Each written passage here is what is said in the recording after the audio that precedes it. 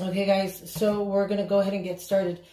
I'm trying to, hopefully this is clear enough for everybody to see. Um, you get a packet, kind of like a little package that holds your medication in there. Um, uh, your auto injector, your needle clipper, your warmer, your ice pack, your syringes, and then your alcohol wipes. Um, first things first is you do get a little bit of a warmer. This thing is solid rock. You hear that? Solid rock. What you have to do is put it in hot water for 10 minutes to soften it up. It gets squishy and then you're able to use it as a hot pack prior to injection. So you get one of these. You get a regular ice pack. Mine came from Shared Solutions. I'll try to do a picture of that in reverse so that you guys can see that. There's a phone number on there actually you can call. So um, you get an ice pack as well. The ice pack does help with the numbing prior to the injection. Um, you get a packet of um, alcohol wipes, basically, okay? Um, the other thing is you get a, you guys can see this, kind of what it looks like. This is a needle cutter, okay?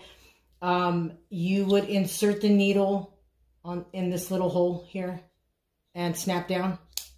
And it cuts the needle off and then you can throw away your needle cap in the trash can without getting in trouble for putting sharps in the actual trash can. And then when you touch the sides, pinch the sides, it opens right up. This stuff is great. I love this. You can still hear my old needles in there. But of course, I have a sharps container at home that I keep just in case. So here we are.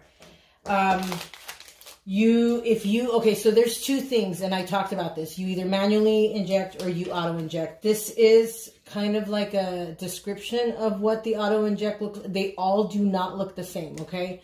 The auto injectors do not look the same. Mine is an auto inject from Shared Solutions, and it is specifically only for glass pre-filled syringes, okay? Um, if you guys have this, you know how it's used. It always comes with a cap. The cap actually is removable, and this prevents anybody getting stuck. So if, if you have a child in the house or a grandchild in the house, always make sure to keep the cap on because if you have medication in there, nobody gets stuck with it, okay? So it prevents any, any sticking. First things first is I don't have a pre-filled syringe because mine were pre-filled when I did the auto injector. But if we're going to go over, if you are manually um, giving yourself an injection, um, your medication is already going to come pre-filled.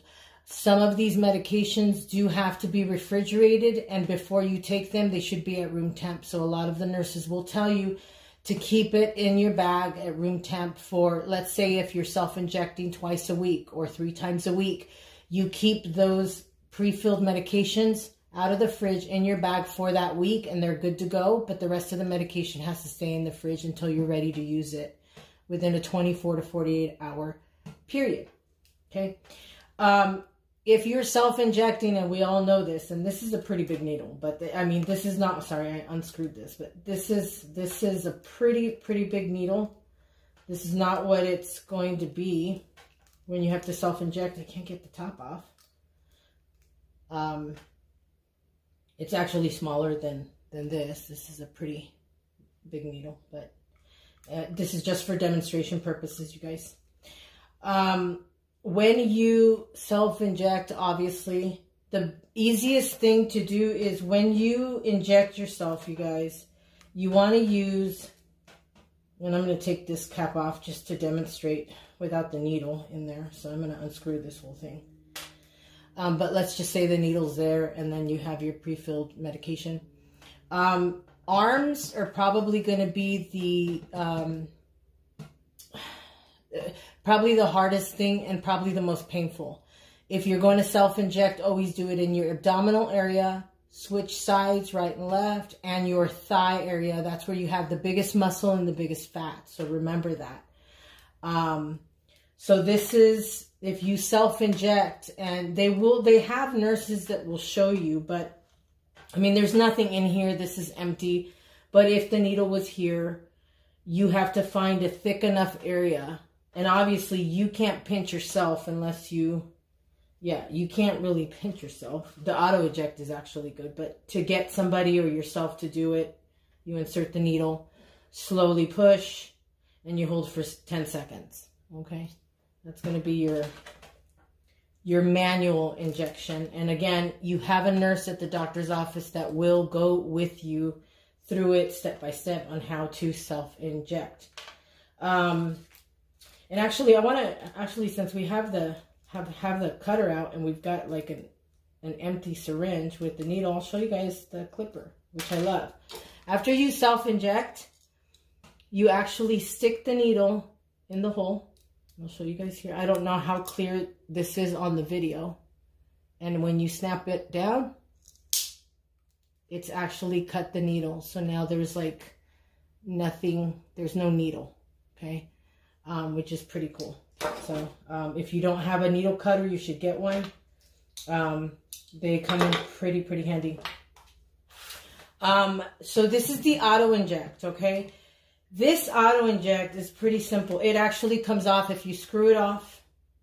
It's, it has a little insert there for your pre-filled syringe. Now again, I don't have a pre-filled syringe, but I want to show you guys technically how it would work. Your pre-filled syringes are going to look something like this. Let's take this cap off.